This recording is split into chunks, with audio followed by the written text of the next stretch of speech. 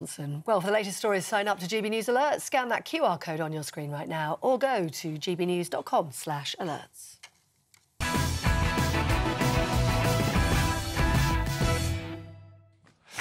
If it feels like living in Britain is like living in a foreign country, that's because it is.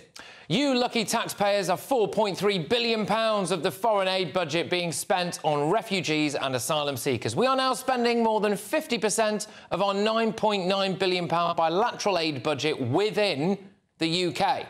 The EU has just passed a pointless new migrant quota deal that will make more people rush to the land of milk, honey and complete gullibility that is Great Britain. There's been a 239% increase in homeless refugees since 2021. Where are they going? Ah, yes, I imagine quite near the top of your local housing waiting list. We're closing migrant hotels in a bid to save money, but it's costing us more money because they'll all end up in social housing or private accommodation bought by you, the taxpayer. And the National Audit Office has said that around £1.2 billion is expected to be spent on housing migrants in large sites like RAF Scampton or Wethersfield. But back to the foreign aid issue now. International rules allow countries to count first year costs of supporting refugees as overseas development assistance. So that's what we're doing. But because you're all more intelligent than the government gives you credit for, you'll have already noticed that they're fudging the numbers, aren't they?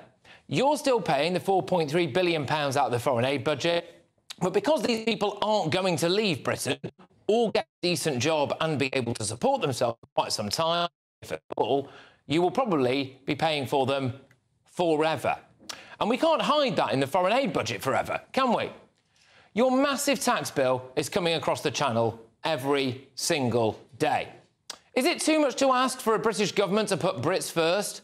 This is now the worst of both worlds. We're still spending billions abroad, like giving Somalia £100 million in 2022.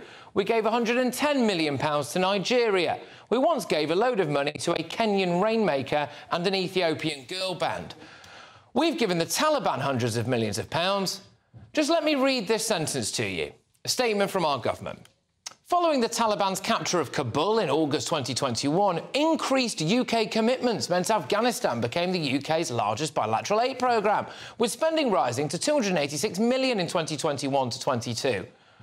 We're supposed to be giving them 151 million pounds this year. After a long day of stoning women to death, having questionable relations with young boys and plotting to kill us all, they retire for the evening to sleep soundly on a bed of British taxpayers' cash but you're paying for them when they come over here as well. But it's about more than the money, isn't it? When you look around, do you feel enriched? I mean, not literally, obviously, because we've already established that billions of pounds of your money is going to refugees and asylum seekers. I mean, culturally, societally. Do you feel more safe? The British public are paying every single which way, and they are fudging the numbers to try to mask the true cost of this. Let's get the thoughts of my panel this evening. I'm very gratefully joined by the wonderful Nana Akua. I've also got the founder of Global Britain, Aman Bagal, and of course the ex-Labour advisor, Matthew Laza. Uh, Nana, I'll, I'll, start with you. Mm. Uh, I mean, this is just an affront. When are we going to start putting Brits first?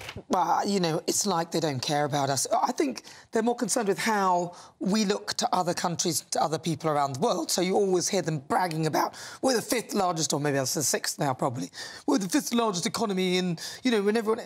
And yet they're still giving money to China, still giving money to Pakistan. Some mm. of these countries, which certainly don't need our help, we're still handing out money. But it's all about show. It's like, you know, when, you know, you see your neighbours and your neighbours are all trying to make it look like everything's lovely and fine. This is what they're doing. But yet the British people, we, the British people need help more than ever.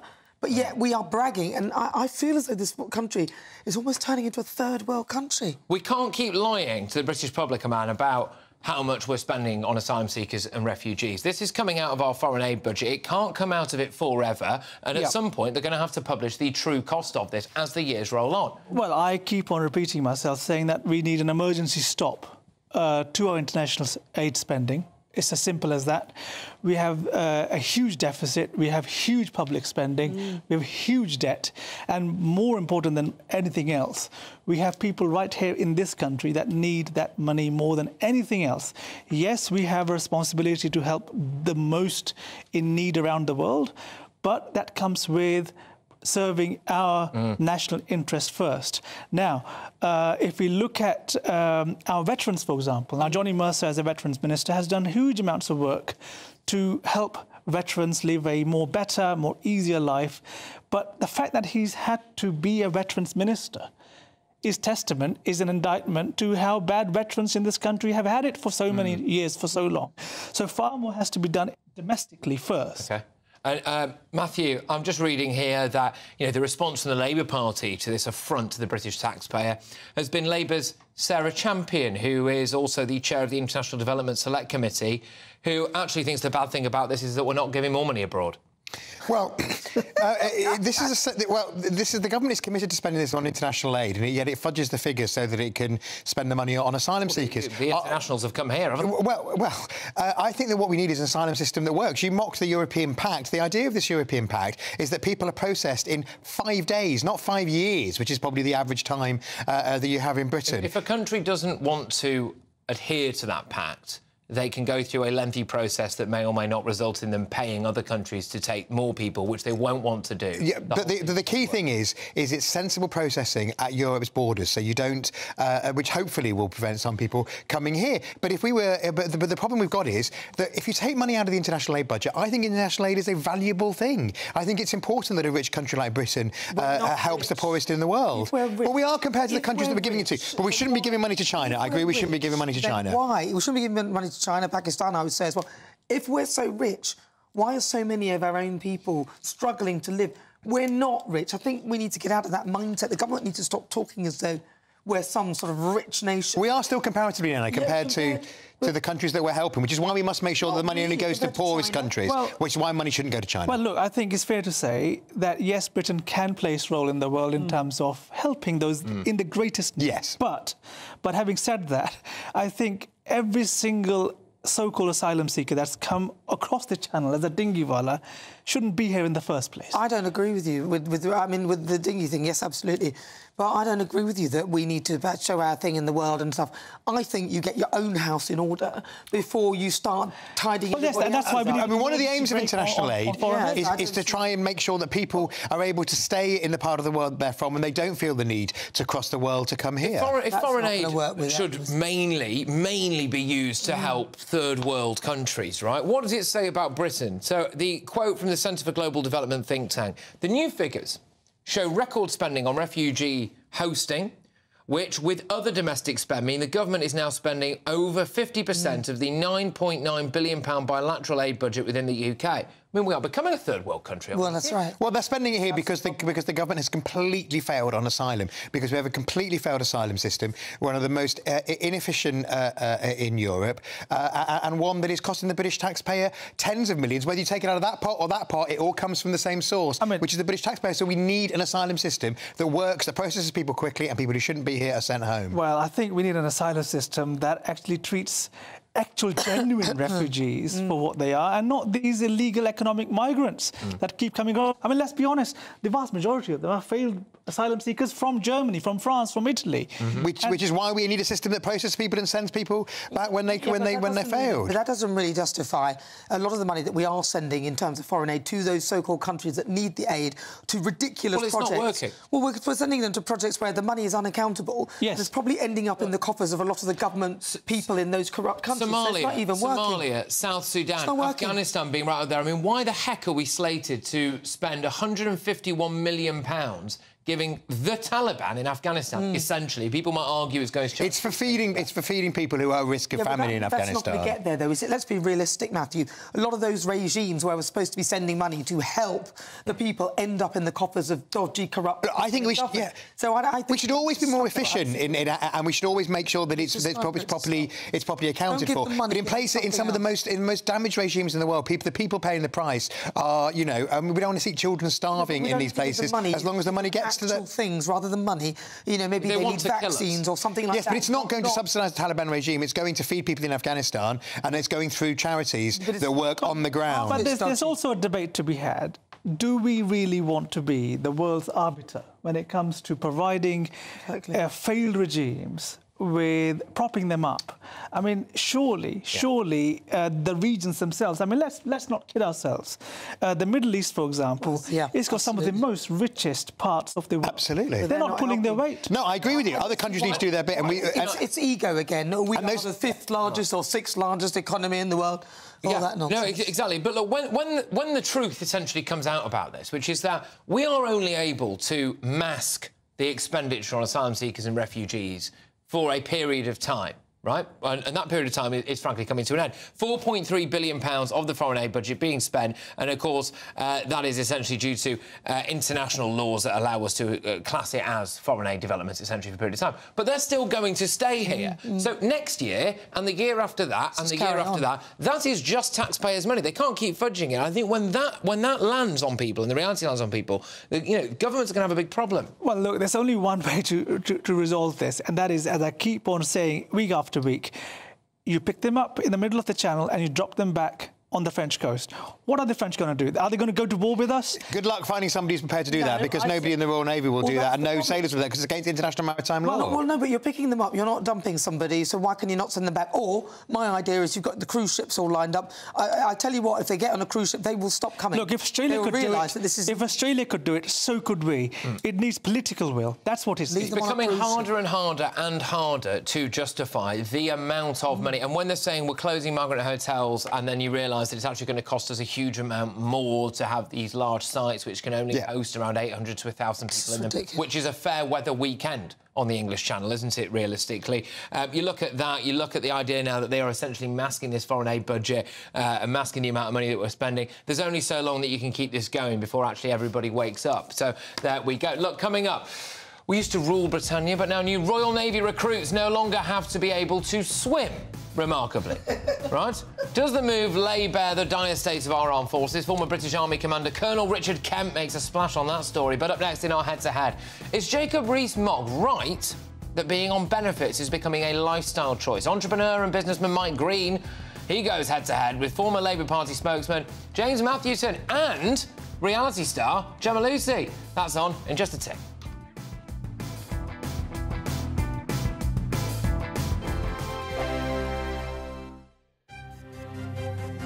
GB News Breakfast. Every day from 6 a.m. Cheryl Baker. Good morning, Cheryl. Good morning. When you think back to 1981, um, I mean, obviously the the the the ABBA victory then wasn't all that long ago, nine years earlier. Do, do you think they had a huge influence then on the sort of direction that, that Eurovision was taking? Yeah, they did. They changed it completely. Because up to then, it had all been very and a bit posh, long frock, sticky bow ties, you know. And then they came along and they blew it out of the water. They looked so different. And they modernised it. And I think, yeah, it, it, it made a big change. Made a big change after that. And we were watching your performance on Eurovision a little bit earlier on of making your mind up. I mean, you had so much fun, didn't you, up on that stage? Were you, in some part, inspired by ABBA? Um, yes, I would say so. It was ABBA was 74. I turned professional in 75 and um, did my first song for Europe, which was, you know, the when they choose the British song to go forward. Um, I did my first one in February 1976. So yeah, it was only months after ABBA's performance that I um, I started my own Eurovision journey. Um, yeah, they they just changed the face of it. They changed the face of Eurovision. And if you look at what Eurovision is now, I think that all started with ABBA's performance. It made people think this is much more than just a song contest. It's all about the look. I mean, the clothes, they looked fantastic. And even the composer, or not the composer, what's he called? The conductor. He was dressed as Napoleon. It was, it made it fun. Fantastic song, obviously, brilliant singing, but the whole look of it just changed the way that Eurovision is, and, and to this day.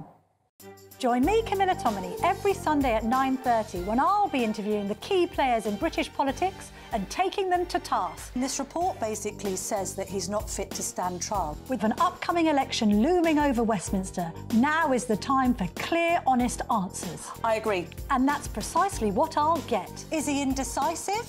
Incompetent? That's the Camilla Tominey Show at 9.30 every Sunday on GB News, the People's Channel, Britain's election channel. I'm Michelle Dewberry, and I'm not here to tell you what to think. I'd much rather hear what you have to say. So send in your opinions to gbviews at gbnews.com. Keep them clean, and you never know, I might read them out. With my panel here on Dewbs & Co, we debate, we get stuck into the issues of the day on a show where all views are welcome, especially yours. GB News, the People's Channel, Britain's news channel. 2024, a battleground year. The year the nation decides. As the parties gear up their campaigns for the next general election. Who will be left standing when the British people make one of the biggest decisions of their lives? Who will rise? And who will fall? Let's find out together. For every moment, the highs, the lows, the twists and turns. We'll be with you for every step of this journey. In 2024, GB News is Britain's election channel.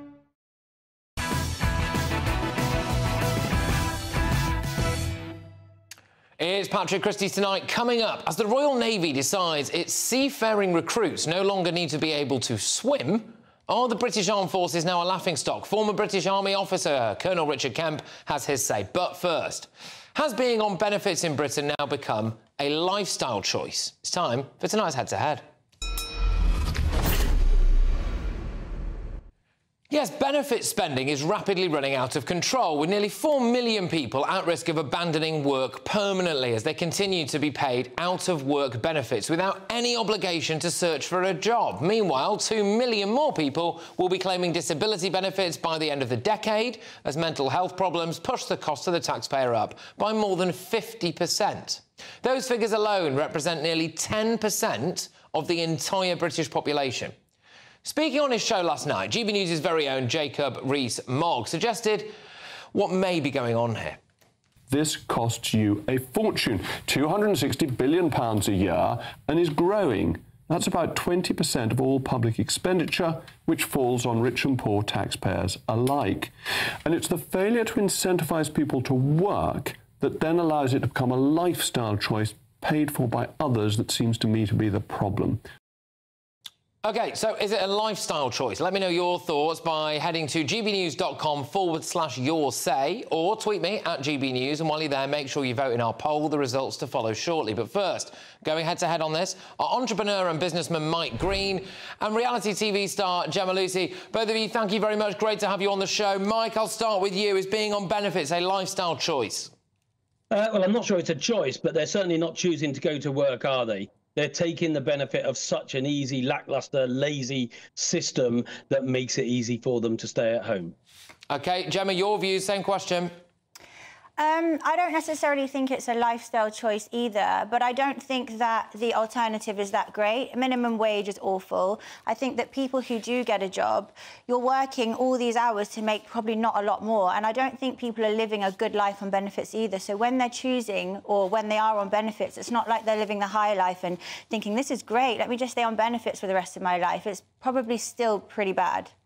Um, is that a good enough excuse, though, Mike? Should people not have a bit more personal pride to go out, get up in the morning, go to work?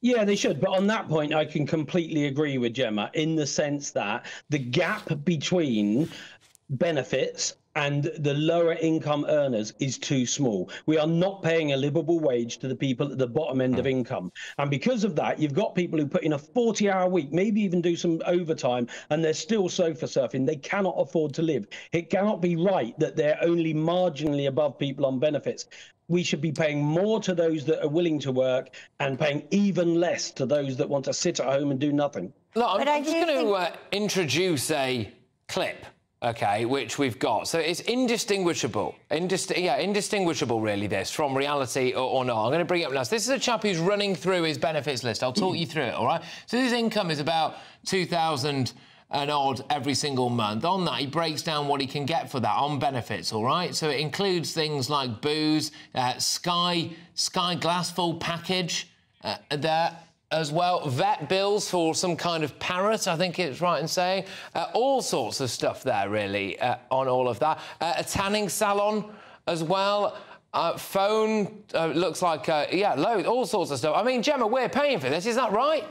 Well, that's just one person, what they choose to do with their bills. I mean, their, um, their benefits. But what I think is that there's not enough jobs out there at the minute. And I think this is like a domino effect of all sorts of things from COVID, from, say, even the education system. I don't even think our education system teaches people enough on how to make money outside of the rat race of society. You know, we're all taught to kind of go into these jobs, work, slave away from eight in the morning till eight at night, don't ever see your families. And when those jobs aren't available, nobody really knows what else to do. So I think that it's like a domino effect from all sorts. Mm. And then you go all the way back to COVID, where we were told, don't work, your jobs, you can't go to work. If you've got small businesses that you've spent 20 years building up these businesses, they're now gone, it's scrapped. So, you know, the choices aren't that great. And I think the whole kind of energy of this country is quite depressing and negative. Yeah, but is that not because people are depressing and negative, Mike? I mean, if you have a bit about you, you can go to work. You've always got the chance. Going to work is like buying a lottery ticket. If you go to work and you turn up, you might get promoted. You might go and get that next big job. Your CV is going to look better. A big company somewhere else might come in for you. You might get headhunted. And before you know it, you might have that five-bedroom detached house somewhere in the country and a roaring fire and a cockapoo. You know, it's fantastic stuff, all right? But if you don't go to work, you don't have a chance.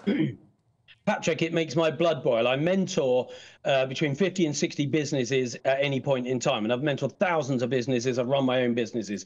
Do you know the average single person self employed business is earning less than that little list you, you just mm. showed me of benefits? Mm. They are working really hard. The government are taxing them. They're, they, they might be turning over more, but by the time they've paid basic costs, they're earning less than that person who's excuse my bluntness, but sitting on their ass. It is hmm. about time we made it tougher for these people who don't want to do it. And I also hear from these same people, they are struggling to get people to work. Why? It's too easy for them to be at home. There are jobs. They might not enjoy that job, but if not, learn some more things, get better, do a better job. Get off your butt and don't expect the government to look after you. I don't think everybody's lazy, though, who's on benefits. What about single mums who have got three kids and they can't just go to work? They need benefits. They need to pay for their kids kids. Could, could I Gemma, ask you on I, that? I agree could, with could I ask you I on that, on that, Gemma? that. Let, let, me, sorry, Matt, let me just come in here because I think I, I, know a lot of our viewers and listeners might be screwing me at this, Gemma. I'm just keen to get your answer on this. You know, some people might say, well, if you if you've got three kids,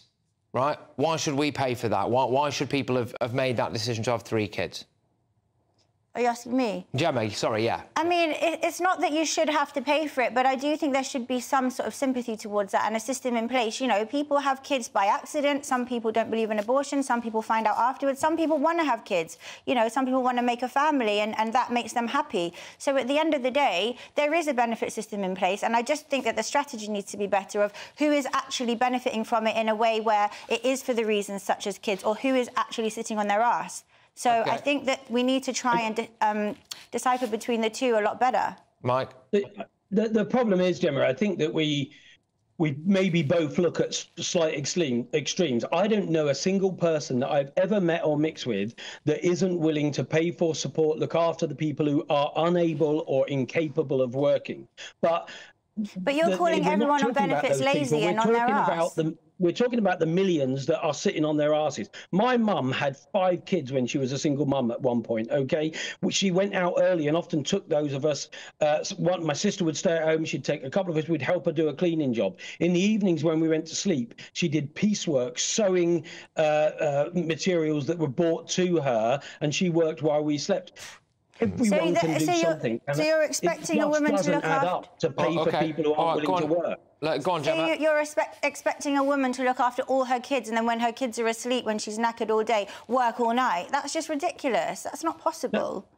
It was tough, but you know what? It taught us a good work ethic. The minute I could work, my brothers could work, my sisters could work. We wanted to look after my mother, uh, and there was a responsibility within families. She looked after us if we didn't have work. We looked after her when she couldn't work. But so many kids expect to get a flat, expect to get paid, and don't want to work for it. I have no problem with supporting mm. those that can't support themselves, but those that don't want to get off their butt, I have a problem with. Then, I agree with you, but I just think that generalising saying that's what everyone's doing on benefits. It just yeah, I, get, I get that. I, yeah, I, I, do. I do understand, and I, think we, you know, we've picked the we've picked the I'd say maybe extreme example. I don't know, you know, the, the single mum with three kids, but but I look at the figures here. Ten percent of the entire British population could well find themselves on benefits. Uh, and Gemma, there's no way that 10% of the British population need to be on benefits. And, and even if we up to the minimum wage, yeah, is this not is this not a, a bad case of lazy-itis?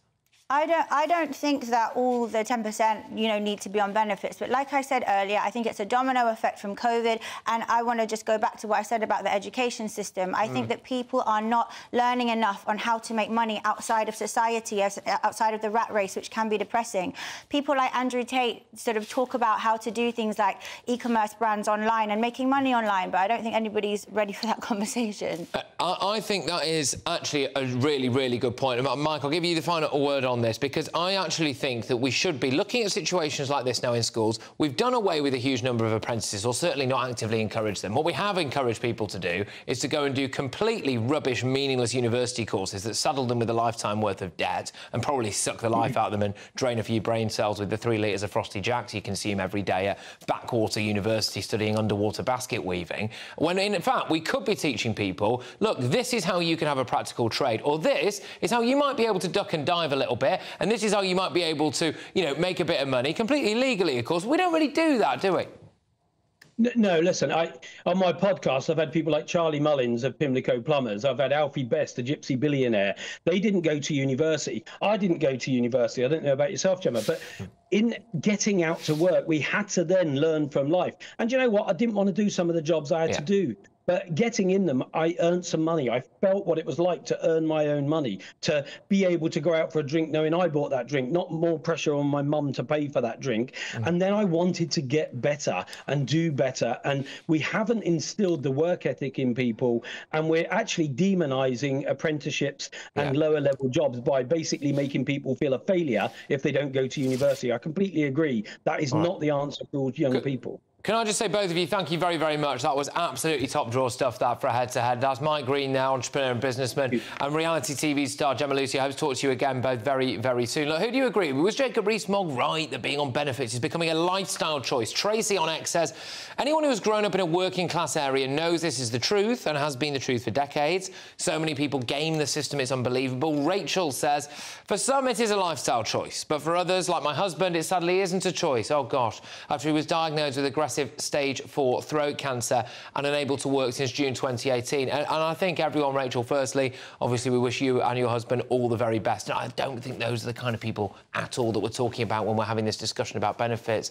Gary says, I think benefits are becoming the choice for illegal migrants, but no one seems to care. Right. Your verdict is now in. 86% of you say that being on benefits is becoming a lifestyle choice. 14% of you disagree that it is not. Right. Coming up. A wet Guardian columnist says the quiet part out loud by declaring that he wants to take the great out of Great Britain. Why do the left hate our country so much? British patriot and former Tory Minister Anne Widdecombe has something to say on that very, very shortly. But next, the Royal Navy moves to solve its recruitment crisis by allowing non-swimmers to sign up as sailors. Have we lost the plot? And does this lay bare the dire state of our armed forces? Former British Army Commander Colonel Richard Kemp is live, and it's next.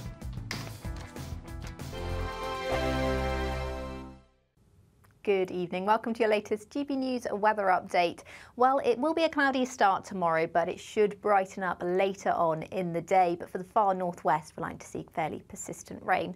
High pressure is starting to spread its influence into southern areas of the UK, but further north and west, we'll see weather fronts push in through the next few days. And this evening, much of the rain will be restricted to the far north and west of Scotland. Also, parts of northwest England, Cumbria will likely see some heavy bursts of rain throughout this evening. Elsewhere throughout the night, it should stay largely dry away from the coasts and over the hills, but it's going to be a very cloudy and mild night. Temperatures again double digits by for a minimum. Across the far northeast of Scotland, it should be a fairly dry and bright start, perhaps some areas in the Midlands as well, but by and large it's going to be a fairly cloudy start to the day. It'll likely stay quite cloudy and wet for much of the day across parts of western Scotland, northwest England, Northern Ireland as well, but elsewhere it should brighten up and it'll feel fairly warm once again in that sunshine. We could see temperatures as high as 21 degrees on Friday. That band of rain becomes a more weak feature, but it will sink into more northern areas of Wales, more widely across northern England, perhaps into the Midlands later on in the day and Saturday. Behind it, it turns much more unsettled, some showery outbreaks of rain. It'll also turn considerably colder for those northwestern areas, but in the south, it should remain largely dry and bright for the weekend. Martin Daubney, weekdays from 3 pm. This new hate crime bill on women's issues, you think this is the least funny April Fool's joke in history? Yeah, although the Scottish government and the Scottish police do seem to be trying to make a bit of a joke of it when, you know, their campaign Hate Hurts is fronted by a hate monster who's a sort of cuddly, bright red uh, Muppet style thing. And some of the things that Humza Yousaf said about it were from a, a soft play centre over the weekend. But yeah, it's really not a joke. It's not actually clever lawyers who know the wording of the law who enforce the law, it's the police. And the police have basically not been trained on this at all. There's a two hour online training course they're meant to have done, and lots of them haven't already done it. And we know from the way that the police have been talking about it that they're wildly overstretching what it might actually be to be, in particular, abusive, which is one of the words in the new law, and specifically on the issue of transgender identity to claim that just noticing the fact that there are two sexes and that sex can't change is meant to be hateful that you know, even after years of trying to study it, I can't understand why people hold this belief. But it's part and parcel of a pattern of legal measures that the Scottish Government has either introduced or has sought to introduce. So it tried to introduce gender self ID, but that was overruled by Westminster because it was out of the power of the devolved government. It's still attempting to bring in a conversion therapy law, which sounds nice but isn't nice. It actually criminalises proper ethical treatment of gender confused youngsters. Uh, they're trying to say that uh, men who have certificates saying that they're women count as women for a particular measure to do with public boards. And then this uh, hate crime law, which tries to make it really difficult for someone to talk in a factual, reality based, clear, understandable way about all these measures. It all adds up to a sort of an authoritarian attempt to deny the fact that human beings are mammals and come in two sexes, and that recognizing that matters for women's rights, especially.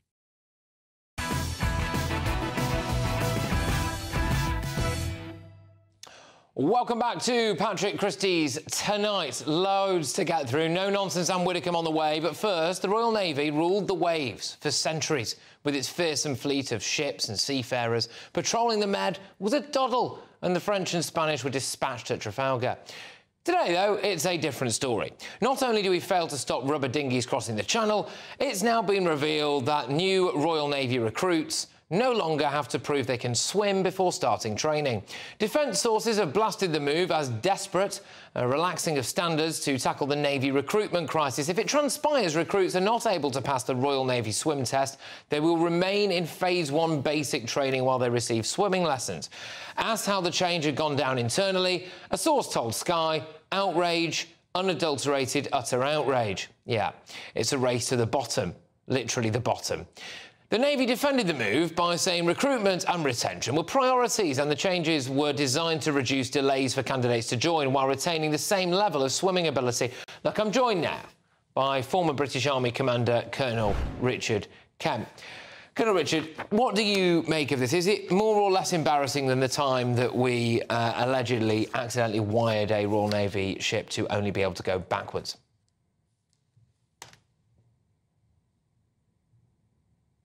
Well, even though I was I was uh, I was in the army, I was never good enough to join the Royal Navy, even though I could swim.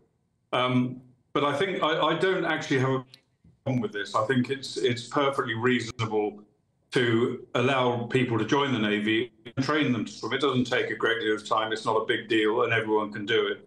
So I don't think that's a huge issue. I think it's better than letting people come to the recruiting office, try to join the Navy, get told you've got to go away, learn to swim, and get discouraged and do something else.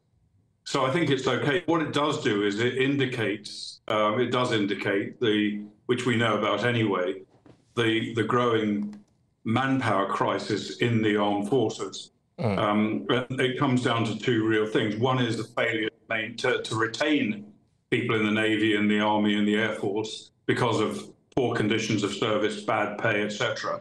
How bad is the pay? Could, could I just it, ask you? Uh, could, could I just ask you how, how, roughly how bad is the pay? What kind of pay are we talking about for in the navy?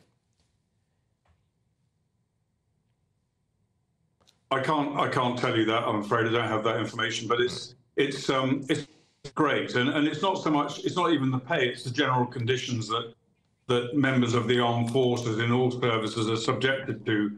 For example, very poor housing, um, for, particularly for families. In some cases, very poor barrack accommodation, a cutback in allowances, and various other things like that. And, and due to shortage of manpower, um, it's uh, it come you know the, the, the unpleasant duties come around more quickly, making people not want to stay. So that's a problem. But I think an even bigger problem than retention is uh, recruiting. The forces, the army, I would say in particular, from my own experience, is extremely bad at recruiting people. And if the navy turns people away because they can't swim, the arm the army will turn people away if they've got if they need a filling until they get the dentist to sort that out, and then they'll go away. Oh, think look, I would- I would else, is that, that fair, though, Richard? these Uh, Is, is, is that fair, though? Because, look, I mean, I look at the Royal Navy here, it says, oh, this is according to their own website, right? Rating paid day one, £18,500 a year. They then make the case, which, by the way, I think is, is really poor, right? Uh, they then make the case, though, that you've got no rent, no bills, 30 days holiday on full pay, free gym membership, travel for free, and also the possibility to fight and die for your country. Um, the regular job, they say that the average school leaver is on 19 and a half grand, but, grand, but they make the case that, again, you've got to pay for all of that other stuff. They say that an officer on day one is on £31,000. So, yeah, look, I agree with you. The pay itself is not particularly uh, appealing. But uh, is this not maybe just a sign, seriously, though, that if you can't swim when you are being recruited for the Navy. I would argue that is more of a concern than whether or not someone who's going to be, you know, sent over the top somewhere and needs a, needs a fill-in. No? Well, I, I think it's part of the same problem because what it does, it discourages people who want to join the navy from doing so, or the army, and and the, the and it's just a part of a, a bureaucratic web which seems to me to be designed to prevent people from joining. Some some people can go and apply to join the army and take six months or a year before they get through the process. I think also the the swimming thing. I don't have the data. I would guess it applies to a very small number of people, not a huge number. I think most people can probably swim. Maybe I'm wrong. But, Yeah, it- I mean- but it's not a big deal. I mean, the dental thing is is not a big deal. There's a lot of examples, though, of just other aspects of the Royal Navy not particularly working. I mean, quite literally, in the um, uh, in the case of some ships, Royal Navy warships crashed into each other due to uh, being incorrectly rewired. That was in uh, January 2024. Uh, apparently, we've had an issue with uh, some aircraft carriers supposedly not really being able to carry any aircraft, which I imagine is uh, is a slight problem. Is this just a wider symptom of the fact that our actual defence forces are knackered at a time when we arguably need them more than we've ever needed them since World War II? I mean, Putin's not quaking in his boots. We couldn't even fire a nuke off one of them before, but we were told, "Oh, don't worry, it'll be all right on the night." Well, we'll all be dead by then. Yeah, You're absolutely right. The, armed forces are actually knackered. They've got some extremely good people serving in them hmm. who are willing to give their country, but they're not funded well enough. And I've no doubt that the engineering problems that the Navy's been experiencing, including the, the missile problem, is down to not enough money being devoted to maintaining ships. And the same applies to the other services. They haven't got enough men, they haven't got enough women, they haven't got enough combat equipment, and they haven't got enough, they just haven't got enough money. And and you know, even as as the war in Ukraine's been unfolding, and everyone's been talking about how uh, much under threat we are, the British Army and the Navy and the Air Force, but particularly the British Army, has been decreasing in size as we have seen the threat increase. It's and it's not just a matter of being able to fight; it's also a matter of deterrent. You've got to have you've got to have military strength and demonstrable political will to use it in order to to avoid having Well, quite. I, I agree with you. like. We're going to have to leave it there, and I think we can all agree that it is a bloody good thing that we're giving 151 million pounds to Afghanistan this year. That'll do us the world of good when it comes to stopping people who indeed want to kill us from killing us. As former British Army Commander Colonel Richard Kemp there, you know, speaking some truths there about the state of our armed forces. Unfortunately, coming up at 10, a flurry of Labour MPs performing screeching U-turns now on the trans debate amid the bombshell Cass review. But as Labour's militant leftists like Nadia Whittome refuse to accept the truth, will the party tear itself apart again over the trans issue? And can we trust Labour with our country's kids? But next, a self loathing Guardian columnist says we should take the great out of Great Britain. So, why do these wet leftists hate their own country so much? No nonsense former Tory Minister Anne Widdecombe, let's rip on that. And it's next. Farage, Monday to Thursday from 7 pm. Good evening. Well, I thought it was an absolutely knockout front page of a Sun that went online last night and was on display all over the country today. Union joke, and there is. Well, you can just about make out that it's the Union flag, better known perhaps as the Union Jack, but they've decided to add pink and all sorts of colours to it, and that is on sale uh, for fans going to the Olympics in France this year to buy and to wear, which led to a great big panic.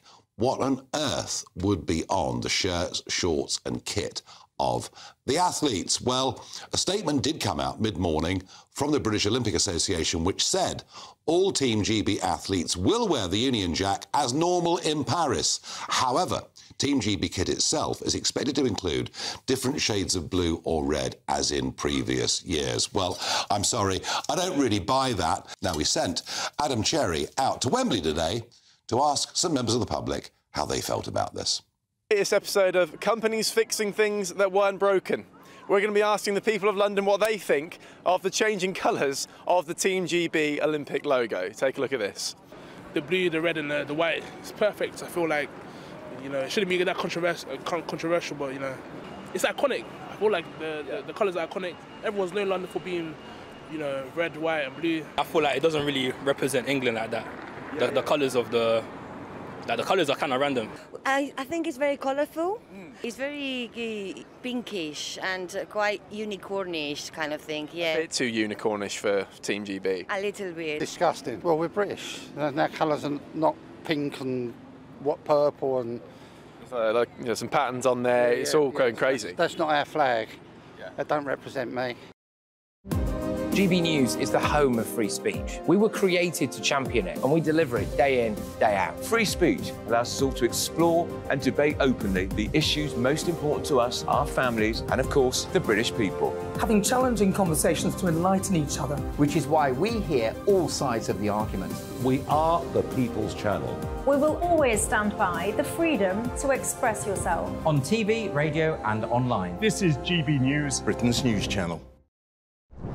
I'm Christopher Hope. And I'm Gloria De Piero, bringing you PMQs live here on GB News. Whenever Parliament is in session on a Wednesday at midday, we'll bring you live coverage of Prime Minister's questions. We'll be asking our viewers and listeners to submit the questions that they would like to put to the Prime Minister, and we'll put that to our panel of top politicians in our Westminster studio. That's PMQs live here on GB News, Britain's election channel.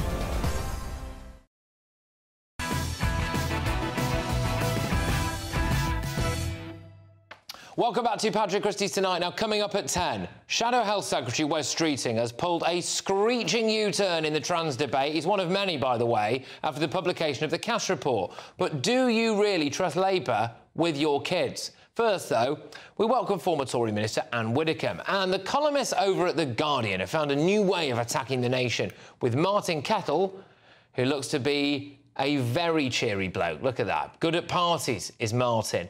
Writing the following tripe about reviving Britain. Look, central to national renewal will be articulating a more nuanced and inclusive sense of ourselves and of our country in a place of preposterous and exclusive one. In this rebuilding, national boastfulness will be as out of place as national self-loathing. Occasionally I flirt, he's not flirted with anything for a while, is it? Occasionally I flirt with the fantasy of a new statue to rename this country simply Britain. That's not going to happen, but it's still true that Britain needs to get beyond the rhetoric and thinking of itself as Great Britain. If it can, this really might be a greater place for us all. And when did people on the left start hating Britain? Well, I don't know, but what I do know is that if a country is great and thinks of itself as great and calls itself great, that is of a benefit to every single citizen in it, man, woman, and child. uh, because you want your country to be great. You want it to be successful. You want it to be economically vibrant. You want it to be all those things. And you want it to be a country that other people respect. And people will say, yes, you know, isn't Britain doing well? Um, so, of course, we want our country to be great. And, and this is just some, you know, vacuous nonsense, quite honestly. Yeah, I mean, he doesn't look like a particularly happy chap. He looks exactly like the kind of guy who might wander around everywhere and going, "Oh, I just, I just hate this place." Now, viewers and listeners might think, "Well, hang on a minute. You spent the first section of this show slagging off our foreign aid thing, saying we're getting it wrong on immigration. You're doing a section later on in the show about how our NHS is knackered. Patrick, you have a go at Great Britain all the time, but that is, and because I do think this place is great, and I want to restore it to its former greatness, and there's a difference, isn't there?" Well, I mean, I think it's very simple to test. Uh, you know, if you say you don't think this country is great, where would you prefer to live? You know, where would you actually want to go? Mm. Uh, and the answer is that you want to stay here, despite things going wrong. Things will always go wrong in any country. We are not alone. The one thing I do get irritated by is that we always talk about what's wrong with Britain, totally out of context with what's going on everywhere else. Um, and uh, you know, we're not uniquely uh, in a mess. Every country that suffered COVID is in a mess. We're not unique. Uh, so uh, it, unless uh, he can tell me where he would prefer to live, uh, then Britain's great. It remains to be seen whether or not Mr. Kettle has a second home anywhere. But if he's writing columns for The Guardian, there's every chance he does, I suppose. Um, and just, just on that, though, is, is there a problem with the psychology of the left? Instead of wanting to maybe build Britain up and see it standing on its own two feet really tub thumping and going for it, there is this idea that we need to accept decline. No, we don't need to accept decline. Indeed, it's very dangerous to accept decline. Uh, a, a decline needs to be arrested not just you know uh, accepted um, as if there's no possibility of challenge.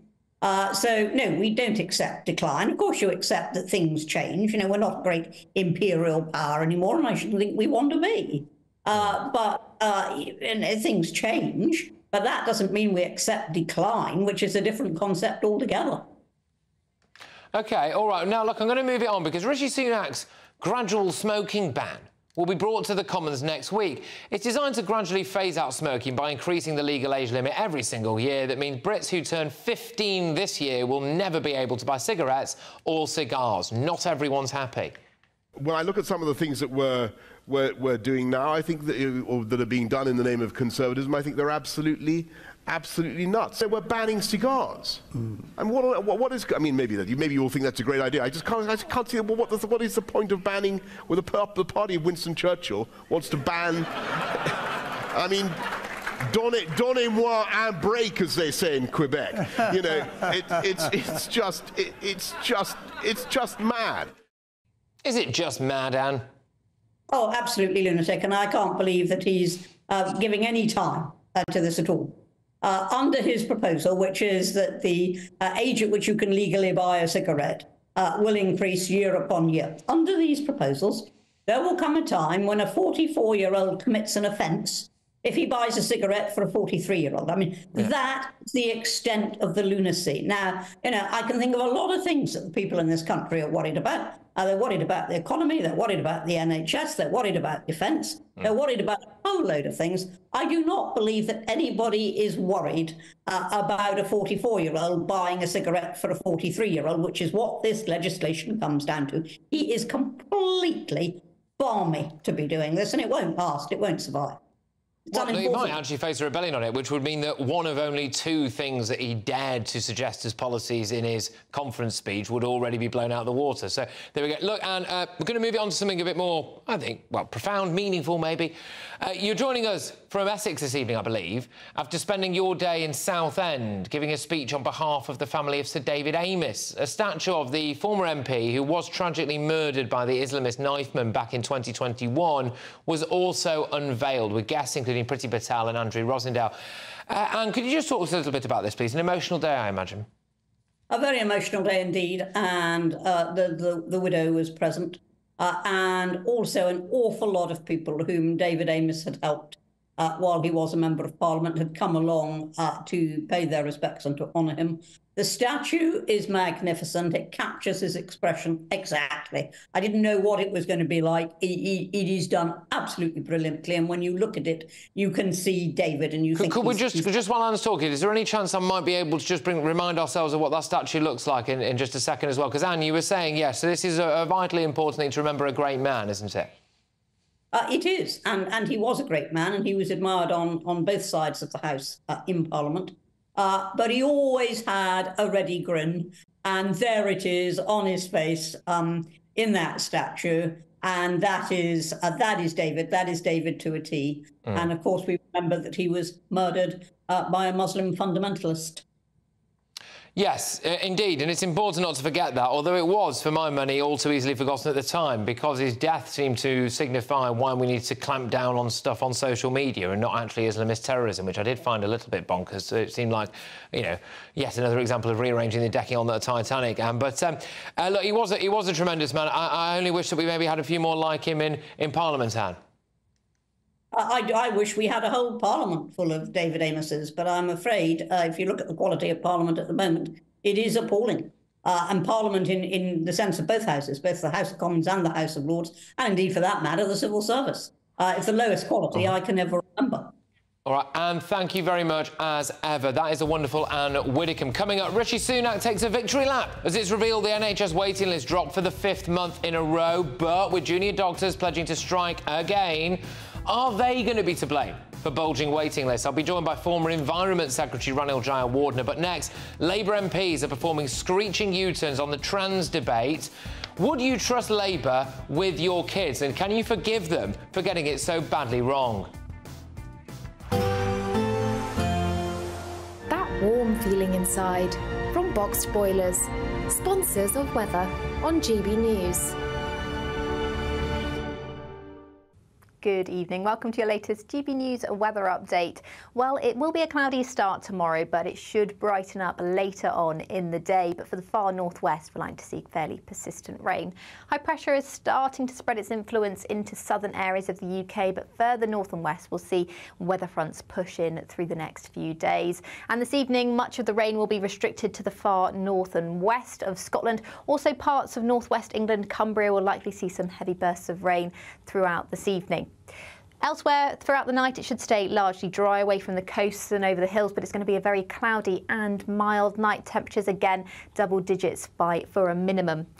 Across the far northeast of Scotland, it should be a fairly dry and bright start, perhaps some areas in the Midlands as well, but by and large it's going to be a fairly cloudy start to the day. It'll likely stay quite cloudy and wet for much of the day across parts of western Scotland, northwest England, Northern Ireland as well. But elsewhere it should brighten up and it'll feel fairly warm once again in that sunshine. We could see temperatures as high as 21 degrees on Friday.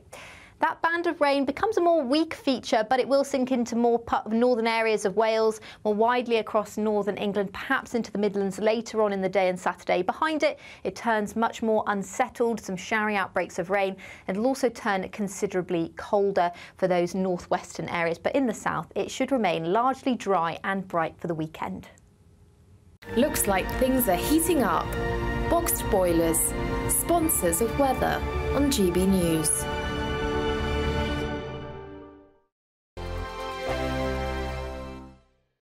Variety Cruises have been sailing since 1942, and thanks to them, you could set sail in 2025. You have the chance to win a seven night small boat cruise for two worth £10,000. With your flights, meals, drinks, and excursions included, you can choose from any one of their 2025 Greek adventures and find your home at sea. You'll also win an incredible £10,000 in tax free cash that you can use to make this summer spectacular. We'll also treat you to these luxury travel gifts for another chance to win a prize worth over £20,000, text prize to 63232. Text costs £2 plus one standard network rate message. Or post your name and number to GB04 PO Box 8690 Derby DE1 9TT. UK only. Entrance must be 18 or over. Lines close at 5pm on the 26th of April. Full terms and privacy notice at gbnews.com forward slash win. Please check the closing time if listening or watching on demand. Good luck.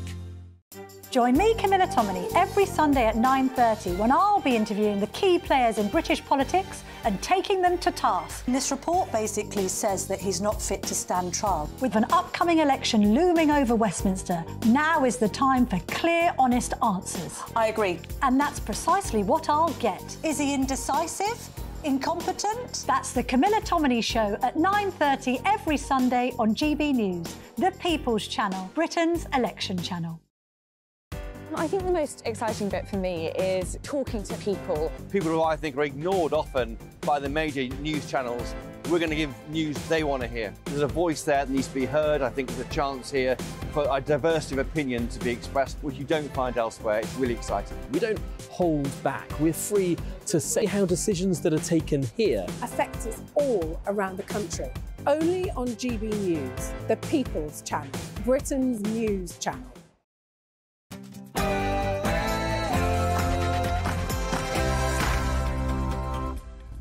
It's 10 pm. I'm Patrick Christys Tonight. Goodness me, that speech was probably one of the worst transphobic dog whistle speeches that I've heard in an awful long time. No forgiveness for Labour trans lunatics and you still go and work abroad somewhere like Canada or Australia, do you think? I'm not ruling it out in the future. NHS waiting lists are down. A win for Sunak Plus. Very confident in Andrew. confident? I'm very confident in Andrew Rayner. That's different to 100% confident. Angela Rayner gets the kiss of death also. Out of their minds, flesh-eating zombie drug that's coming to the UK. I've got tomorrow's front pages with GB News star Nana Akua, founder of Global Britain Aman Bagal, and ex-Labour advisor Matthew Laza. Oh, and what did Trump order? I have 30 milkshakes and also some chicken. Yeah, there was more than that. Get ready, Britain. Here we go.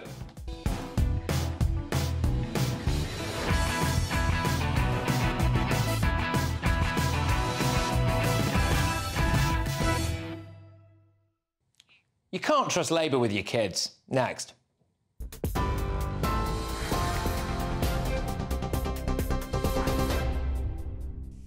Just after 10 o'clock, the latest top story from the GB newsroom. A sub postmistress who was wrongly jailed while she was pregnant has refused to accept the apology of a post office executive who sent an email in 2010 saying her conviction was brilliant.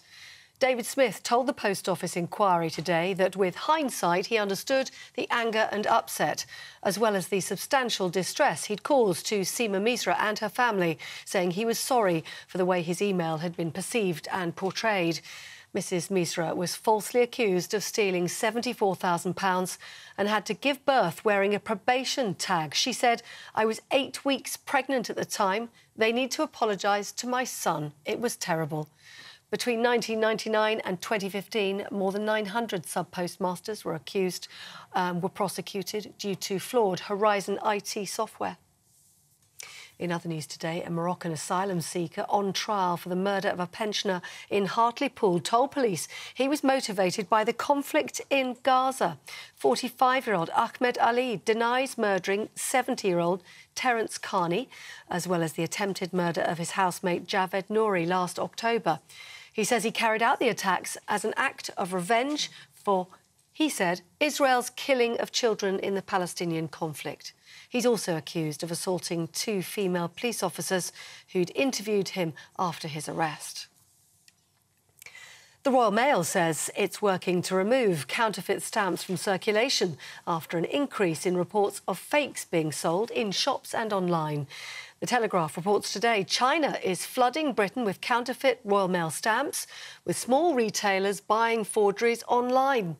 It's understood the fakes were causing a rise in complaints when stamps bought from legitimate stores were being deemed fraudulent, resulting in a £5 fine for the receiver. A once a day migraine pill has been recommended for use on the NHS, with a charity claiming it could change the lives of thousands of people. The pill, sold under the brand name of Aquipta, has been given the green light for NHS use under new final draft guidance. Anyone who experiences at least four migraines a month and has tried at least three other methods of treatment but found no relief will be eligible. And the former American footballer O.J. Simpson has died of cancer at the age of 76. He was surrounded by his family, who released a statement this afternoon saying he was with his grandchildren and his children at the time. O.J. Simpson was acquitted of killing his ex wife, Nicole Brown Simpson, and her friend Ron Goldman in 1994 in a trial that gripped America. Almost 100 million people watched live television coverage of the now famous pursuit of OJ, driving a white Ford Bronco, followed by multiple police cars across LA. After his record breaking career in football, he became an actor. But in 2008, he was convicted for his role in a Las Vegas armed robbery and served almost nine years in prison. That's the news. For the latest stories, do sign up to GB News Alerts. Scan the QR code on your screen or go to gbnews.com/alerts.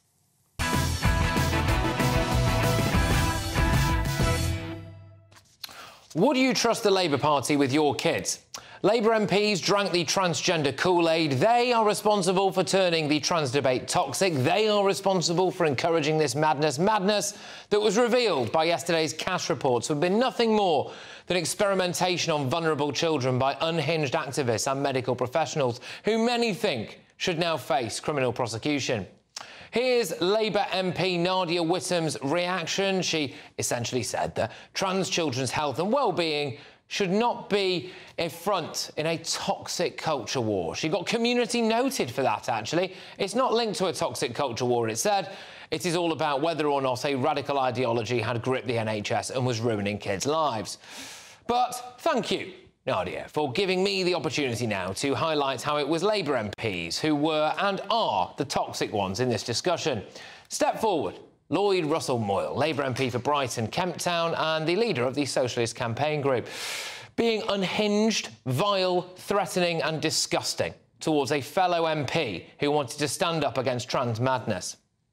Goodness me, that speech was probably one of the worst transphobic dog whistle speeches that I've heard in an awful long time.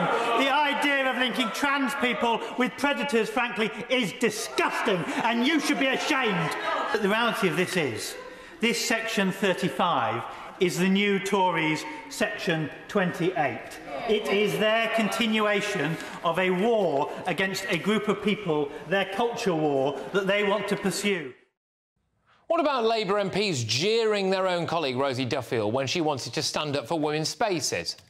Conflicts with the Equality Act and would have repercussions for women, for women across the UK. Does the Secretary necessarily segregated by sex, such as domestic violence settings, changing rooms in prisons? And given the previous UQ, does he not understand how vitally important this is at the moment? What about MP Kate Osborne barefaced lying about Kemi Badenoch?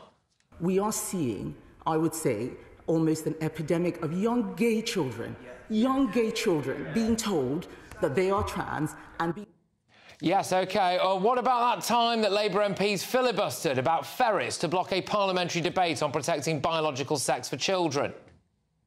I, I thought um, it, I would take the opportunity, as it hasn't been taken many times uh, during this session of Parliament, to actually talk about ferrets a little more. On April the 2nd, National Ferret Day will be marked. The risk of rabies from illegally imported ferrets. And Ferrets, ironically, absolutely stink. And so has Keir Starmer's attitude towards women, helping to push this trans madness even more. Nick, I'm not. I don't think we can conduct this debate with. You know, sorry, have I, have I this offended you in some? No, no, no. It's just, uh, no, no, no. I just. And now here comes the utterly shameless shadow Home Secretary Yvette Cooper, taking the high ground now on this report. Well, I hope that this report really is a watershed moment for the NHS, for NHS gender services, because this is the, the report's clear. It's basically talking about evidence, focusing on evidence, focusing on children's welfare. And where were you, Yvette? Where were you when it mattered? Here's Labour Shadow Health Minister Wes Streeting welcoming the report. If you'd asked me a few years ago uh, on this topic, I would have said trans men are men, trans women are women. Some people are trans. Get over it. Let's move on. This is this is all a blown out proportion. People were trying to raise the facts. You regret? I think you we've got regret? to absolutely take the criticism on the chin. And Well, it's all too little too late, isn't it? The fact is, if it wasn't for the Tories, there wouldn't be an attempt to stop social transitioning against parents' wishes in schools. There would be little to no opposition to male rapists in women's prisons, to hairy blokes in women's changing rooms. There would have been no Cass report, would there? Kids would still be mutilated. The Tavistock would still be a thing. You can bet your bottom dollar that Labour wouldn't have done a thing about it. Now, when you go to the polls, maybe just think would you leave Labour alone with your kids? Let's get the thoughts of my panel this evening. I am joined by GB News presenter Nana Akua, founding chairman of Global Britain UK, Aman Bagal, and also ex-Labour advisor Matthew Laza. Nana, can you trust Labour with your kids? Uh, well, I mean, they have shown themselves to be ridiculous. I mean, Keir Starmer, I, I can't get over that one when he was when he was asked about whether women have a penis. He goes, "Well, uh, uh, I don't know what he was doing with his hands, but this is something that my six-year-old." Could tell you the difference between a man and a woman and has no problem saying that. I don't understand why they struggled with it um, so much. But I think it's interesting that now people like Wes Streeting are coming out and trying to garner favour mm. because they've realised that, frankly, the Cass report, which I'm so glad has come back again, and has empowered people to accept and acknowledge that a biological man is a biological man, a woman is a woman, a bi biological woman is a woman. A woman can never be a man, yeah. a man can never be a woman. Somebody who thinks that is suffering from something and whatever how that is. How dare Labour MPs and people associated with him now come out and start saying the most important thing is uh, that we have to remove the toxicity from this debate? Excuse me, you're the ones ranting and raving about trans folks, trying to cost people their jobs, trying to mm. cost people their livelihoods, trying to take everything from them, man. Mm. Well, look, I think I agree with you, Nana. Uh, look, Labour and the left love a good picket line, mm. right? Their radar, their political radar, is always focusing on finding for outrage, div driving division, and finding outrage where there isn't actually any. Look, the vast majority of people in the UK, they're pretty happy to let people be, mm. okay? Mm. But Labour, I mean, Wes Streeting, Keir Starmer can't work out what a woman is. I mean, at the end of the day, this is this is an affront to women to womanhood, to the very idea of being a woman. That's what this is. All right, uh, Matthew, you know, I, I, look at this now and I just think if it had been a Labour government in all of this time, there would have been no real pushback to social transitioning in schools. The Cass report almost definitely would never have I don't know there's no evidence that the Cass report wouldn't have happened at all. Labour supported the Cass report uh, all the way along. Look... Who the, commissioned it? The, well, the, the, the, the government. Javid, wasn't it? Yes, but the government... Because we're you not... in that would have happened under Labour government, Yes, really? absolutely. We're not in government. But, look, oh, on, uh, look, on this... I mean, Patrick, I think saying that you can't trust Labour with your kids is actually pretty offensive, uh, both to the Labour Party and to the um, uh, the 40 plus percent of people in this country who say that they're going to vote Labour at the next election. I mean, I think what is absolutely clear is that the, the trans debate is too, it has been too toxic, and it has been wrong that people have been closed down. I, am going to say quite clearly, I think that uh, uh, the, I always get his name wrong. Lloyd Russell Moyle, mm. Uh, who is the MP for Halford Brighton, uh, was uh, unhinged there, and his behaviour was utterly inappropriate, and so did the majority of Labour MPs. Wes Streeting, who used to work for Stonewall, has been absolutely clear that as the, as as he's he, uh, he's been on a journey about how the debate is handled. Well, what about because the treatment of Rosie Duffield? Exactly. Yeah, scared exactly. to go to her own party conference because she dared to say exactly. that only women have a say. Well, I think that's partly because there were campaigners at the no, conference, no, no, not Labour people at the conference. No, but it was. It was. It was the Labour well, Party, look, and she spoke about it. Exactly. I mean, look. Well, she's just been. She's she, the, the, disciplinary procedures against her just been dropped this, for things that she did with about against other colleagues. This nothing but another U-turn from Labour. No, it's not it. At all. I'll tell you. Look, let me let me explain. Hmm. Mm. Look, Labour Party is made up of fringe elements. Mm. That's what it is. That's absolute rubbish. No, it's not. It is. The Labour Party speaks for the majority of British people. No, but you, we just had 20 minutes attacking the Labour Party. The Labour Party has a, a, a screeching U-turn from Wes Streeting on, the, on, on the trans debate. They had a screeching U-turn on the Pride we should all show to the Union flag. The Labour Party has no, that's absolutely offensive. That, that's, look, I mean, I can I can show you pictures of Labour conferences going back 50 years that have got the Union flag in them, and it's on the party let's membership card. To say Labour's not patriotic okay. it's ludicrous. Right, stop. Let's so why on the on the on, oh, on the oh, civic oh. issue, Wes has not done a U-turn on his policy as Shadow Health Secretary. Wes Streeting, who I've known for 20 odd years, 25 years, mm. was the president of the NUS, uh, the National Union of Students, mm. which is a very different kettle of fish to being a Labour MP. You've got different pressure pressures on you, etc. And he has said that the posters, and he wasn't in charge of Stonewall, he worked with Stonewall, um, and he thinks that their, their, their, use of the phrase "get over it" for saying some people are trans get over it was a was a, was a silly blunt well, poster. Well, well, you know, you've got Labour MPs now just refusing to accept the result of this. You know, Nadia. She doesn't. I mean, I, look, again, she's not from my wing of the party, and often I disagree with well, Nadia Whittome. What she says. I told you that Labour is fragmented, and now it, it isn't fragmented on it at all. It's, it's united. Well, well, because, because we all come from different traditions. I mean, you know, there's different positions within all parties, especially the Tories. Yeah. What Nadia Whittome has said is that yesterday her thoughts were with the trans community, well, and we must remember that the trans community suffer unduly from hate crime, from suicide, and from mental health issues.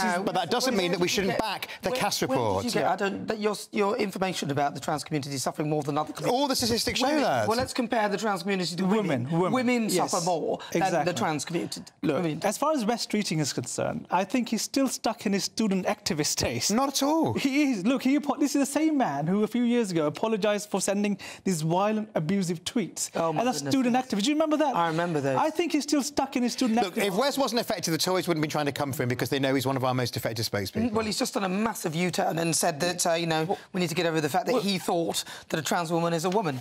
I, I, just, I just can't help but feel, you know, you've got the likes of Yvette Cooper out there saying, "Now, look, I really hope now this is this is good," and you know, facts are, are really put forward for. I don't remember Yvette mm. Cooper really speaking out about this kind of stuff before. It's like they're hiding behind this report now. Well, they now realise that this report won't really back up some of their sort of so-called narrative towards uh, biological women who make up over 50% of the population, and they realise now they need to garner our support because Keir Starmer is, ha, will not have a dead cert of a win, even though he probably will win, but how well good that will be. But I just think that, you know, it's time for people to start telling the truth and telling these people, look, a trans woman is a biological man.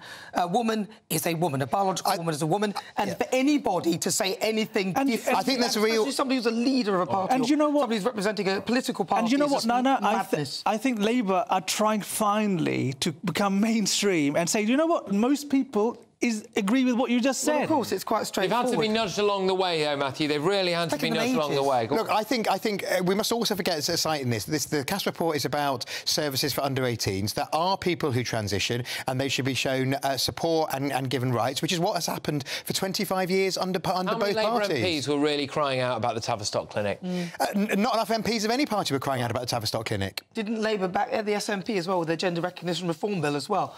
I mean, well, Labour's absolutely clear it does not believe in itself. Uh, UK Labour doesn't believe in, in, in, in, gender self-ID, and that is the very clear policy. Well, people, backed people, by Keir. People can make their own minds up, can't they, as to mm. whether or not children, vulnerable children, the Cass report, again, may I remind everybody, did identify that neurodiverse children, often with other situations okay. going on, like autism and other different things as well, had essentially been pushed in a direction. People can make their own minds up as to whether or not a Labour government would have done anything about that. Matthew thinks they would have done. No doubt Wes Streeting himself would vehemently say that he would have done. I'm not so sure. Coming up, don't miss the extraordinary moment that a Hamas leader is actually told that his children and grandchildren have been killed in an airstrike. His reaction, if you've not seen it already, perhaps explains some of the senseless evil that took place on October the 7th. But next, Rishi Sunak celebrates NHS waiting list dropping for the fifth month in a row, despite missing his own targets that he set last year. But with junior doctors pledging to continue striking until September, will they be to blame now if the waiting list start to bulge again? Former Environment Secretary Ranil Jayawardena, he takes striking doctors to task, and that's next.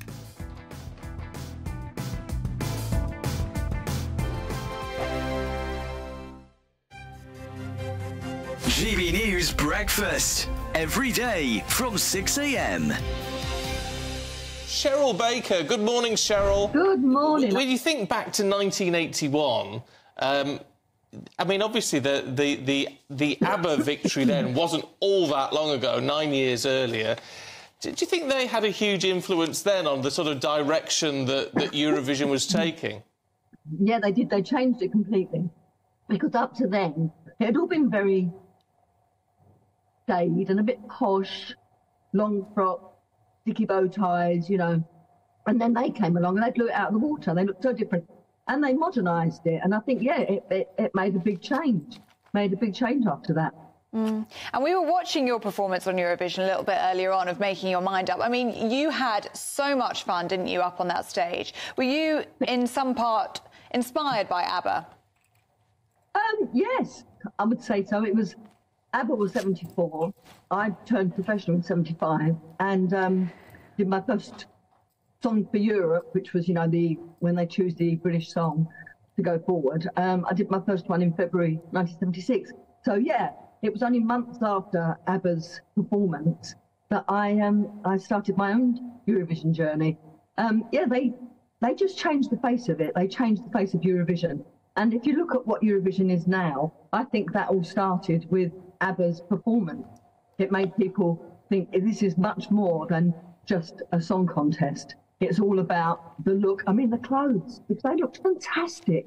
And even the composer, or not the composer, what's he called? The conductor. He was dressed as Napoleon. It was. It made it fun. Fantastic song, obviously, brilliant singing, but the whole look of it just changed the way that Eurovision is, and, and to this day. GB News is the home of free speech. We were created to champion it, and we deliver it day in, day out. Free speech allows us all to explore and debate openly the issues most important to us, our families, and of course, the British people. Having challenging conversations to enlighten each other. Which is why we hear all sides of the argument. We are the People's Channel. We will always stand by the freedom to express yourself. On TV, radio, and online. This is GB News, Britain's news channel. I'm Michelle Dewberry, and I'm not here to tell you what to think. I'd much rather hear what you have to say. So send in your opinions to gbviews at gbnews.com. Keep them clean, and you never know, I might read them out. With my panel here on Dewbs & Co, we debate, we get stuck into the issues of the day on a show where all views are welcome, especially yours. GB News, the People's Channel, Britain's news channel. 2024, a battleground year. The year the nation decides. As the parties gear up their campaigns for the next general election. Who will be left standing when the British people make one of the biggest decisions of their lives? Who will rise? And who will fall? Let's find out together. For every moment, the highs, the lows, the twists and turns. We'll be with you for every step of this journey. In 2024, GB News is Britain's election channel.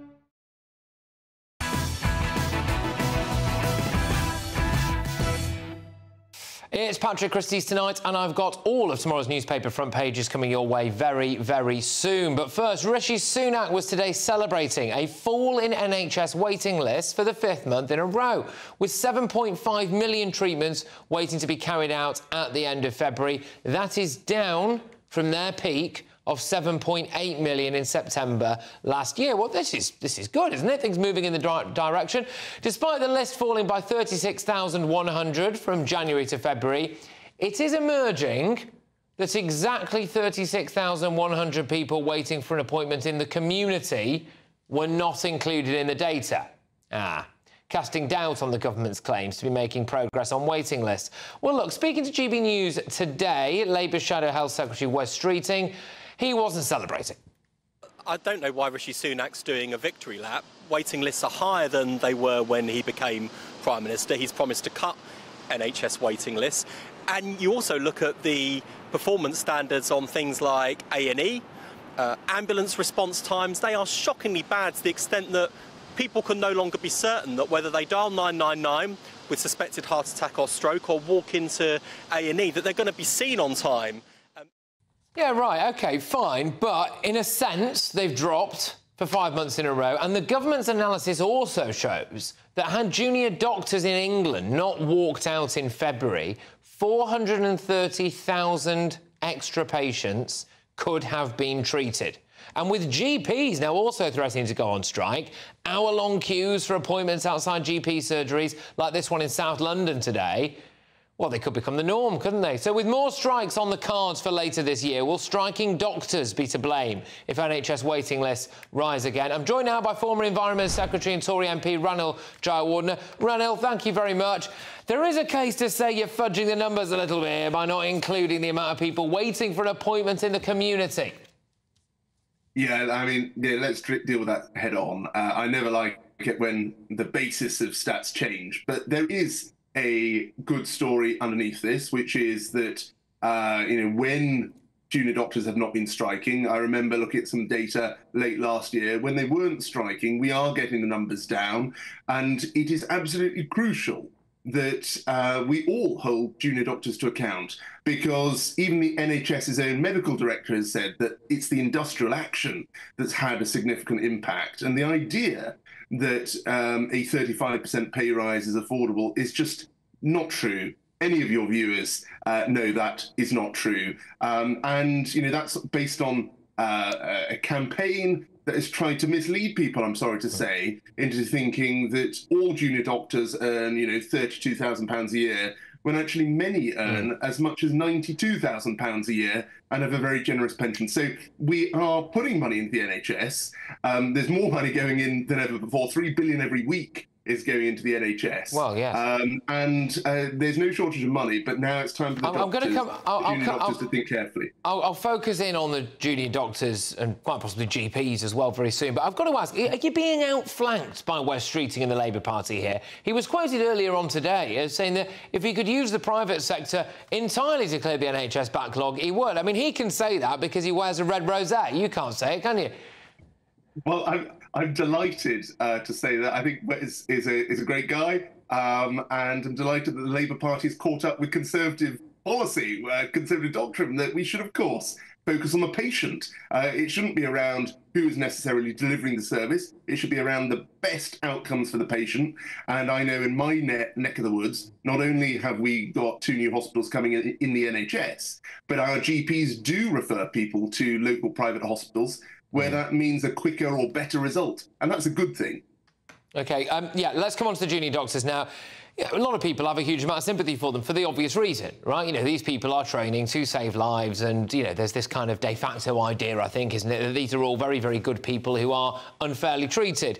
I do wonder now, you know, five months in a row of waiting lists falling, let's say that continues, there's no reason to expect it won't for the next couple of months, and then they time a strike in time for the next election, which, by the way, they are saying that they might do. You know, I just wonder whether or not it is them to blame, really, if those waiting lists start going up, and if that really does look political. Yeah, well, I mean, as, as I said a moment ago, the National Medical Director um, of the NHS, so this is a, an official, this is not a politician, uh, he has said, uh, Stephen has said, that the industrial action has had a significant impact uh, on the recovery of the NHS services. And you're right to talk about not only junior doctors, but GPs too. Um, on junior doctors, it's absolutely crucial um, that uh, they look after patients. That's what they did sign up to do. I do believe that. Um, but unfortunately, I think there are a small group of, um, dare I say, Corbynistas still in um, parts of the junior BMA um, who are trying to push a political argument. And it's interesting to see they've accepted a deal from the SNP on a very similar basis to what the UK government has said for England. Um, and yet, because we're a Conservative government, these Corbynistas have said no. Um, so one rule with the Scot- Scottish nationalists, uh, another rule because we're Conservatives. And you're also right uh, to just highlight that there's a risk of a GP strike um, over the summer, which again seems very targeted and timed ahead of an election, which is very unfortunate. Actually, I think GPs do a great job, um, and you know it's just important that we make sure that there are appointments um, for patients to be able to see them when they want, uh, where they want, um, and a strike isn't going to help with that. Yeah, OK, all, all right. And um, you seem to say there that, you know, if there's a strike in the summer, that would be convenient timing with an election. Are we getting a summer election, Ranil?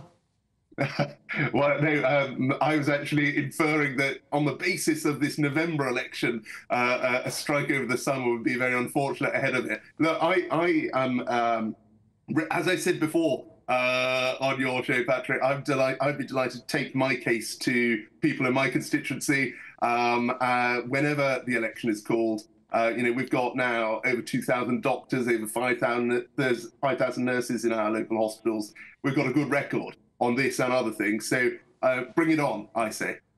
All right, OK. I better cancel my summer holiday. Ranil, thank you very much. you take care. I'll see you in a bit. All the best. That's Ranil Jayawardena there.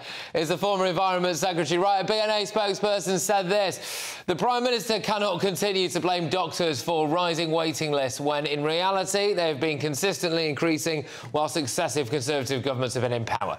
This all comes down to long-term underinvestment in the NHS and an undervaluing of staff, which has crippled our workforce. The government must get credible pay offers on the table to end all disputes give our workforce the recruitment and retention boost it desperately needs to bring those figures down. Right, there we go.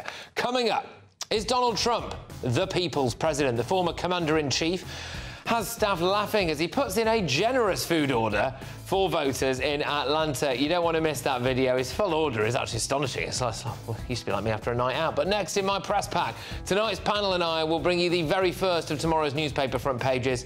It's the liveliest pay per view you'll get anywhere on British TV. Why the heck would you want to miss it? Good evening. Welcome to your latest GB News weather update.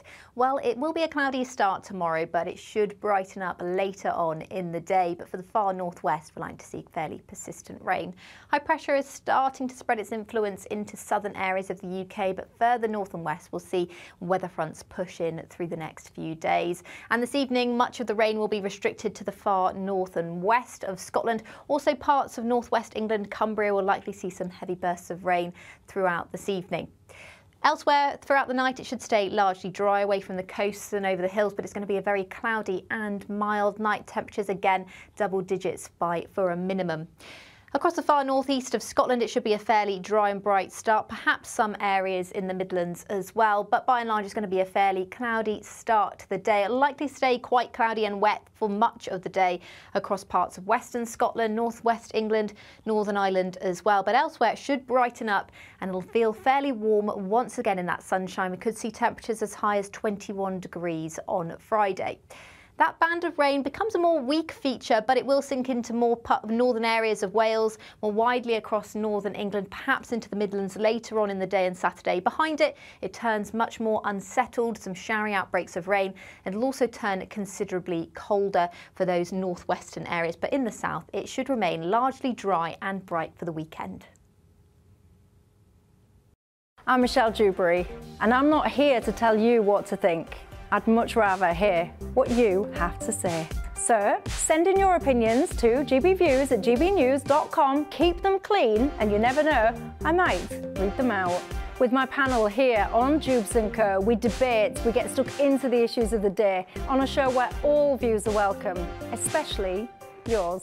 GB News, the People's Channel, Britain's news channel. I'm Andrew Doyle. Join me at 7 o'clock every Sunday night for Free Speech Nation, the show where I tackle the week's biggest stories in politics and current affairs with the help of my two comedian panelists and a variety of special guests. Free Speech Nation, Sunday nights from 7 on GB News, the People's Channel, Britain's news channel. Your weekend starts here with Friday Night Live with me, Mark Dolan, 8 till 9 on GB News. Big stories, big guests, and big laughs as we get you ready for a cracking weekend. That's Friday Night Live with Mark Dolan. Fridays 8 till 9 on GB News. Bring your own drinks. The admission's free. Every Sunday from 11, join Michael Portillo. There will be topical discussion looking at the week before and the week to come. So kick back and relax at 11am on Sundays on GB News with me, Michael Portillo. GB News, the People's Channel, Britain's news channel.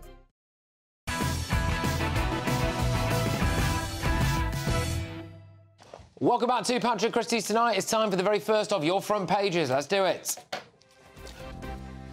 Here's the Metro. J.K. Rowling and the Goblet of Fire. No forgiveness, she says, for the Stars trans stance. She's not going to forgive Harry Potter actors who turned their back on her over her stance on the trans issue. Let's go to the Eye. Starmer. Labour will hike UK defence spending amid threat from China and Russia. Interesting. Labour leader intends to boost military spending to 2.5% of GDP if he wins power. He reveals that in an interview with The Eye. That, I think, will be quite a popular move. The Daily Mail. Starmer, UK nuclear deterrent is safe in my hands. In a landmark article for The Mail, Sir Keir vows unshakable to commitment to Trident and to build a new generation of subs here. OK, let's go now to The Times. Fears of children's safety as WhatsApp cuts minimum age to 13, all right? Uh, consultants accused of covering up fatal flaws. Whistleblowers lost their jobs, apparently after raising concerns. A group of senior hospital consultants suppressed warnings about patient safety years before police were called to investigate 40 deaths, apparently. Let's go to The Guardian now. Labour warned over loss of urban seats in the election. Alienation over Gaza and climate policy could cost the party dozens of constituencies. It is, of course, their well, position on Gaza, potentially costing them uh, votes to independent candidates. I tell you what is fascinating here. If you just look at the composition of tomorrow's front pages, you've got the eye, all right, you know, does lean to the left. They've done a sit down with Starmer, it appears, backing defence spending. The Daily Mail, certainly not leaning to the left, saying UK nuclear deterrent is safe in Starmer's hands, or at least that's what he's saying. The Guardian has been consistently critical, really, of Starmer now for a period of months. It's quite a fascinating way to look at all of that. I'm just going to go to my, my panel now. Of course, I've got the wonderful Nana Akua. Also got Aman Bagal and Matthew Laza. Uh, Matthew, I will start with you on this, actually. Uh, Starmer's saying the UK nuclear deterrent is safe in his hands and he's going to hike UK defence spending up to the 2.5%. I mean, that really... I mean, we, Rishi Sunak's lost uh, at least one defence secretary and an armed forces minister for, well, amongst other reasons, but uh, not doing this. Absolutely, and I think uh, it's a sign of uh, Labour's confidence. It's effectively, forgive the uh, military metaphor, uh, got his tanks uh, on the Tories' lawn on defence. Traditionally, defence has been an area where the public, I mean, I think, uh, you know, wrongly, because Labour's actually got a good record on defence, mm. but have, have, have, had concerns, and particularly in the 80s, when I was growing up, people were worried about Labour's defence stance. But now, Labour is out there on the front yeah. foot, and it shows it's working. In a recent poll, Labour was more trusted than the Tories on defence. Yeah, well, yeah. Um, Aman, I'll come to you on this. Starmer says defence is the number one issue for his government. That's quite bold, isn't it? Do you believe I mean, that? No, I mean, look, again, as I said earlier, I mean, this is uh, a very fringe element uh, Labour Party, which is trying to mainstream itself, to align itself with the issues that actually matter to the British public. And defence, yes, is one of them, is a big issue for, for mm. the country. And uh, But as far as being the nuclear deterrent being safe in his hands while he's still got the rabid left in his party. I mean, let's be honest. What's stopping the hard left, the hard, hard left of the Labour Party taking over from a possible Prime Minister Starmer in two years' time into his government? Nothing. Mm. It's entirely possible. And they would scrap. Total nonsense. I mean, come on. Come I mean, the Tories, have, the Tories have left it wide open for a Labour leader. Again, it's bad Absolutely. politics. But how, politics. how, will he fund it? That's the, that's the question. How well, he's not telling us how he would fund more money mm. into defence. We already spend one of the biggest defence budgets in the world. Maybe you'll take. Well, you're having defence ministers resigning. Maybe you'll take it out of the non-dom tax status. yeah, uh, well, well, that again, and a lot of things. Again, yeah. again. Yeah, I mean, do you trust Labour with the nuclear bus and Nana? Nah, don't be silly. I don't. And I think the comments made there, they could U-turn as well. Uh, they've done literally everything they've so far come up with. The green, 28 billion on the green stuff, they've U-turned. Wes Streeting U-turning on his stance on women. Suddenly now biological women and trans women are not the same mm. thing. Starmer did the same thing. Now they're saying that they're going to spend 2.5%. I don't even think that's enough. I'd be looking at least three anyway. And I think these are things that we expect our governments to do anyway. But, but yes, so well, we do, we do, we, we, do expect them to do it anyway, absolutely. But the mm. fact is they haven't. Absolutely. And, and, and, you know, it is, it is, again, I'll just say this again, it's terrible politics mm. that a Conservative government would allow a leader of the Labour Party to, as Matthew did rightly say, park his well, tanks on their lawn. You know, we, we've had this before, Patrick. I mean, we had Ed Miliband back in the day who claimed, mm. am I tough enough? Hell yeah. I mean, I'd stand up to... Yeah, but on, on, on defence, you know, uh, NATO, is, NATO is one of the great achievements of the post-war Labour government alongside the NHS. All right, look, look, look let me whiz it on to the Guardian. I'm, I'm, I'm, going on to the Guardian now, their front page, because Labour warned over loss of urban seats in election. Now, this this is a this is a fascinating story. So Labour risks losing in a number of its target seats as previously loyal progressive voters turn away from the party. Senior party figures and polling experts have warned. Experts say Keir Starmer's party could struggle to win as many as a dozen of its main targets, hmm. and could even lose two of the seats it currently holds as a result of alienating some Muslims and younger progressive voters angered by its stance on Gaza and the climate crisis. Um, I suppose, Aman, this is hope for the Conservatives, is it? Well, I mean, look at this way. The Labour Party, for the last few years, has been pretending to be everything to everyone and then suddenly finding itself as standing for nothing. And that's exactly why you've got the likes of George Galloway now chomping at the bits, targeting Labour in big traditionally Labour uh, seats. But that's what happens when you don't actually stand for anything, but you pretend to be everything to everyone. Well, go on, Matthew. I mean, this is pretty damning. Yeah, I mean, it's I, I've I've read the piece, and it, it's uh, it's a slightly uh, it's a slightly odd piece that conflates various different factors. There is one seat, uh, which is Bristol, with the new seat of Bristol Central, where the Greens are targeting Labour. It's a very diverse seat, and it's absolutely full of kind of student and Liberal voters, uh, where those issues might make a difference there. And then obviously we've seen the issue about the Muslim vote, but Keir will keep doing the right thing. And if it That's means that one or two, debonair, though, isn't it? it is, That- yeah, absolutely, and that is a danger. culture. Yeah, but it's not in a dozen seats; it's in one seat. And then there's an issue about whether Labour will be able to take the seat that Caroline Lucas is vacating for the Greens in Brighton. Um, now, Nanak, I'm going to play a clip now, and I'm going to get you to react off the back of it. So, if you're not one of the shameful mob out marching for them in London every single Saturday, you have probably realised that Hamas are ruthless, murderous lunatics, OK?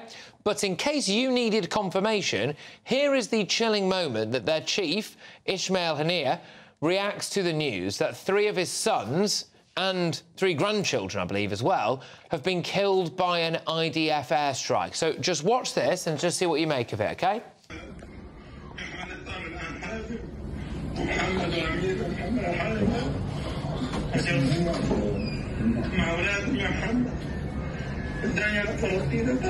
الله يسهل الله يسهل الله يسهل عليهم الله يسهل عليهم يعني شو- OK, so he was just told in that clip that you saw there that three of his kids, who were adults, right, and, and some grandchildren, had just been killed.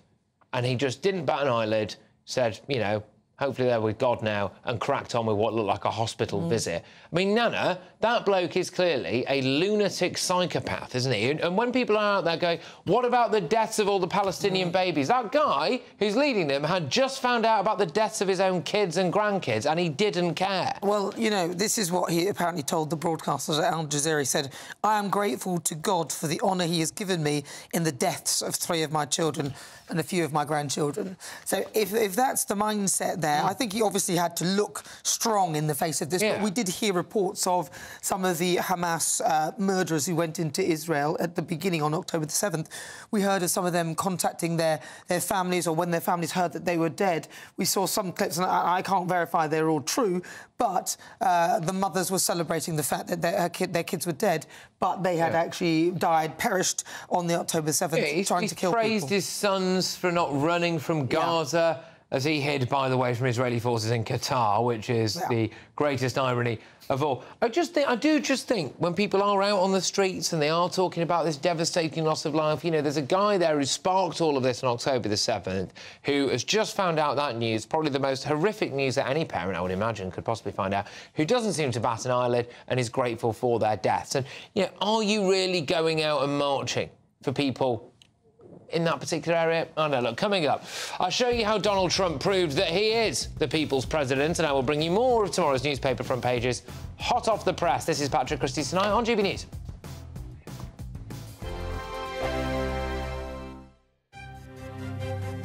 GB News Breakfast. Every day from 6 a.m.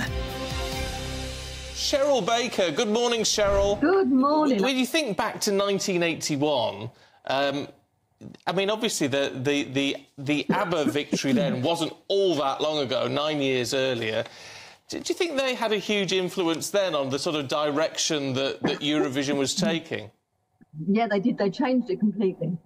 Because up to then, it had all been very staid and a bit posh, long frock, sticky bow ties, you know. And then they came along and they blew it out of the water. They looked so different. And they modernised it. And I think, yeah, it, it, it made a big change, made a big change after that. Mm. And we were watching your performance on Eurovision a little bit earlier on of making your mind up. I mean, you had so much fun, didn't you, up on that stage? Were you, in some part, inspired by ABBA? Um, yes, I would say so. It was ABBA was 74. I turned professional in 75 and um, did my first song for Europe, which was, you know, the when they choose the British song to go forward. Um, I did my first one in February 1976. So yeah, it was only months after ABBA's performance that I um I started my own Eurovision journey. Um, yeah, they they just changed the face of it. They changed the face of Eurovision. And if you look at what Eurovision is now, I think that all started with ABBA's performance. It made people think this is much more than just a song contest. It's all about the look. I mean, the clothes, they looked fantastic. And even the composer, or not the composer, what's he called? The conductor. He was dressed as Napoleon. It was, it made it fun. Fantastic song, obviously, brilliant singing, but the whole look of it just changed the way that Eurovision is, and, and to this day.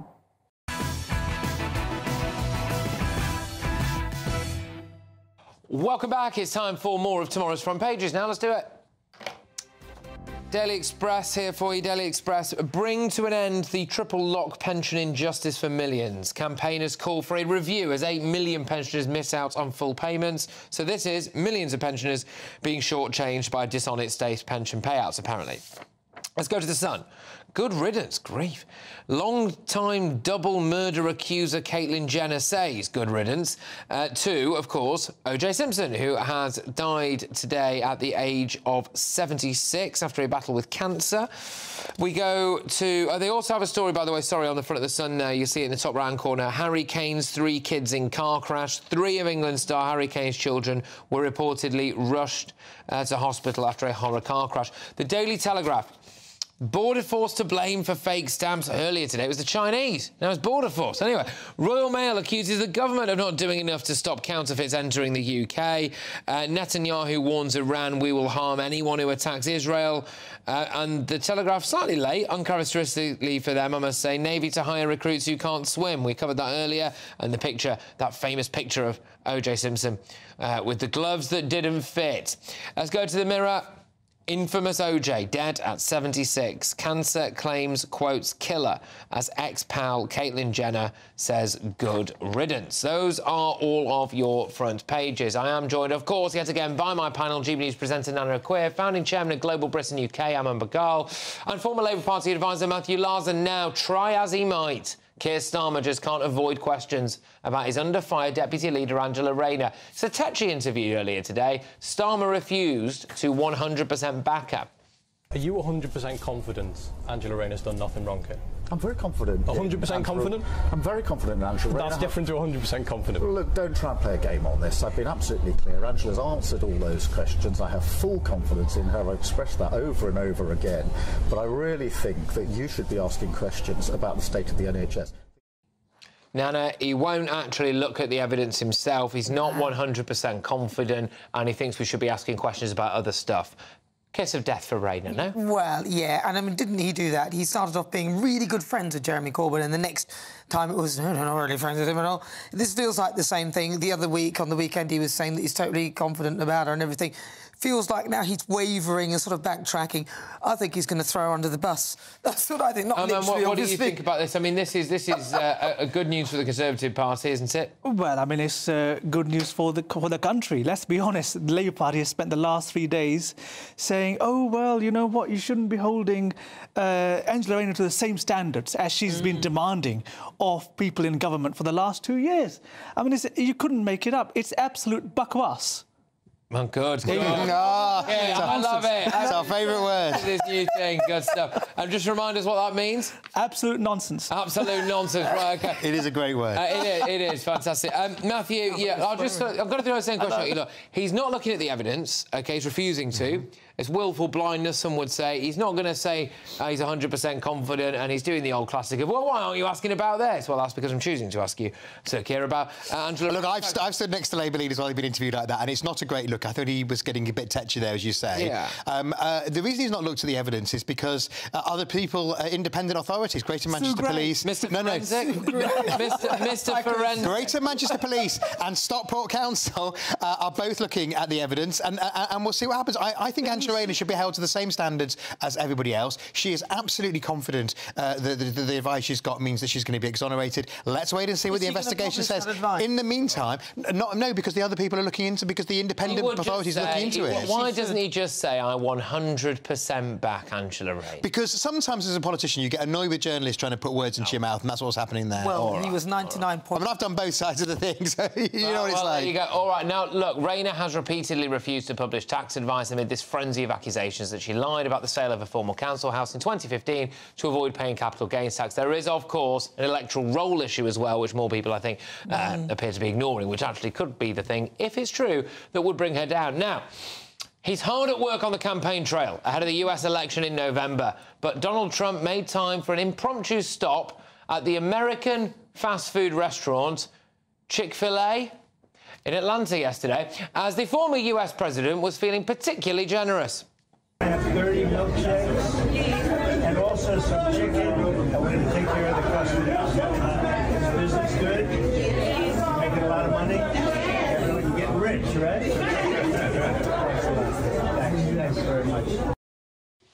But will his milkshakes bring all the voters to the yard, Nana? Oh yeah, very good, very Kelis. No, listen, I, I think that he will. I think the only trouble he has, and I don't think that they really plan to keep Joe Biden, Democrats, I think they're going to get rid of Joe Biden at the last minute. Then I think they're going to try and put in Michelle Obama. And I think Michelle Obama could cause Trump a little bit of a problem because everyone, as soon as you say Obama, a lot of the Republicans who aren't as sort of fixed on Trump may well follow. So I'm not sure whether What do his you- milkshake what do you bring reckon? all Well, of I mean, look, he's the people's president. He always has been. Um, it's very simple, really. People have seen what Joe Biden has done to the US and are knocking on the rest of the world for the last four years. I think people got fluked in into voting for Biden in uh, the last election, and they will see sense again. He's flying in illegal immigrants who turn into voters, for goodness sake.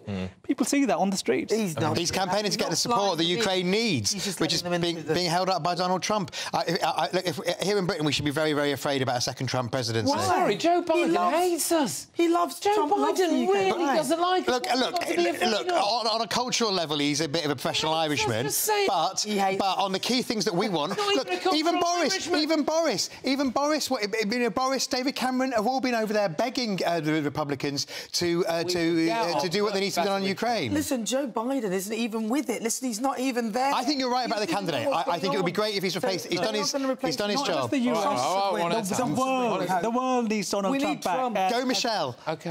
Oh, okay. Well, yeah, I mean, the Michelle Obama thing is uh, Well, that's huge if true. Um, OK, now, uh, it's time for to reveal today's greatest Britain Union Jackass.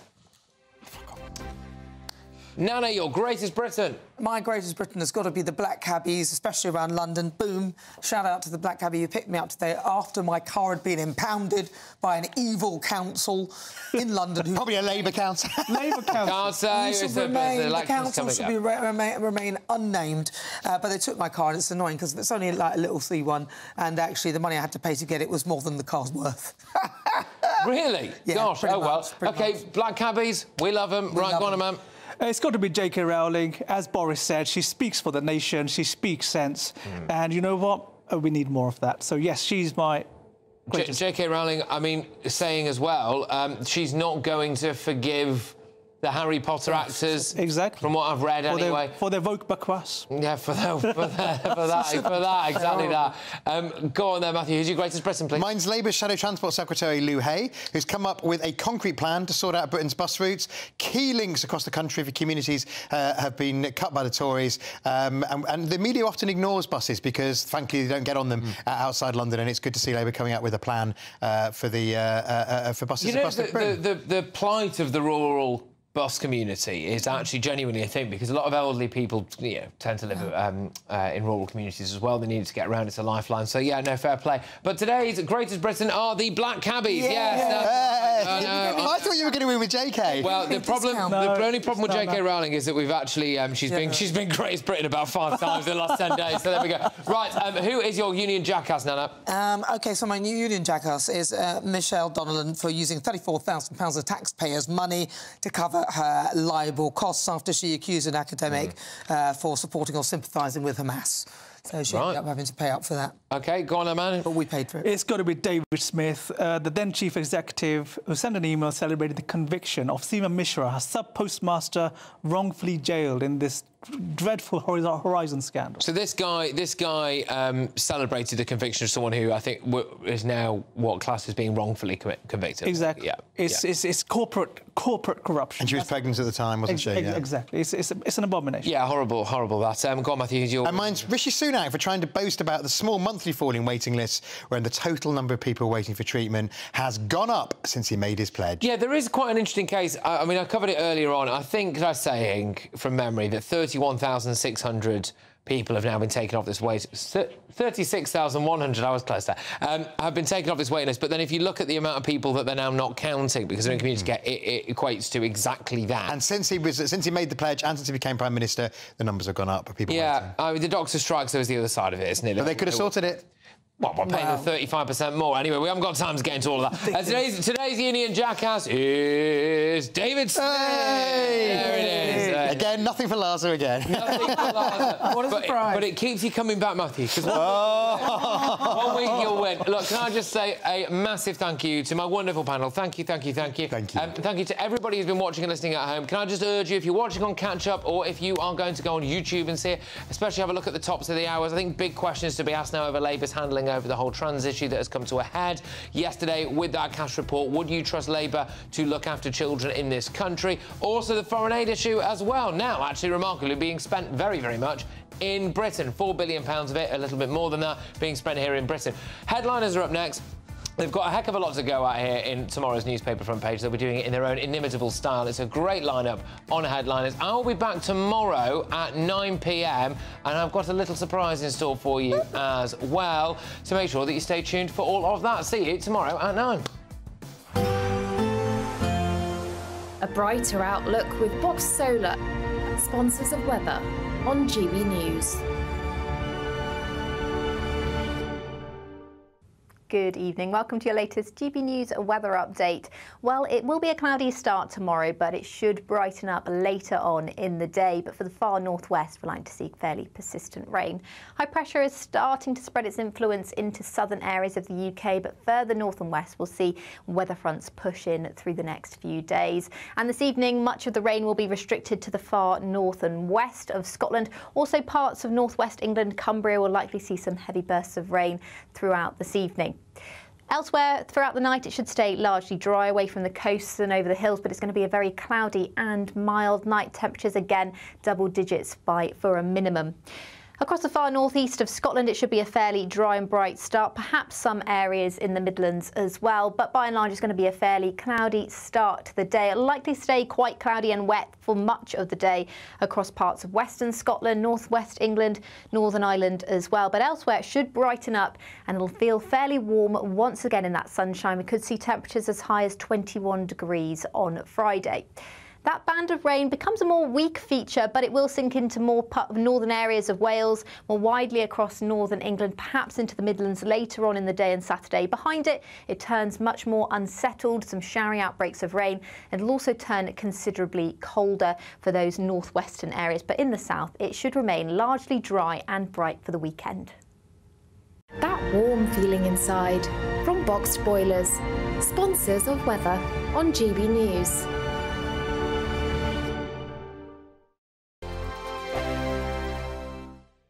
This is your chance to win our biggest prize of the year so far. First, there's a totally tax free £10,000 in cash for you to spend this summer. Then, we want to send you on a bespoke seven night small boat cruise for two worth £10,000. Thanks to Variety Cruises, you'll be able to choose from any of their 2025 green.